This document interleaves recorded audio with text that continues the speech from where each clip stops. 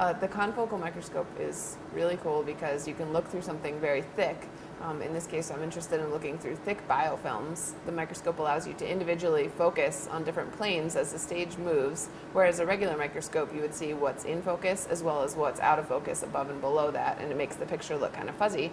Um, in this case, the microscope allows you to single out the focal plane, and you can really um, get nice images. And then we use a computer to reconstruct what it would look like three-dimensionally from that stack of pictures that we took.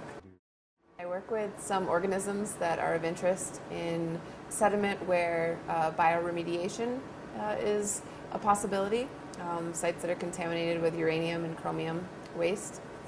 Bioremediation is where we use microorganisms or bacteria um, to clean up nasty things that are in the soil.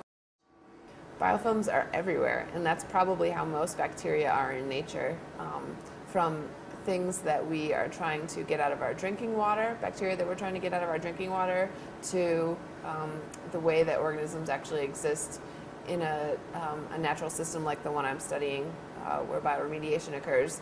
Most of the bacteria are probably not just floating around in the water, otherwise they get washed away. They're probably attached to surfaces, and so it's important to understand um, how that changes things. If we're trying to disinfect something, how that changes the ability to kill them.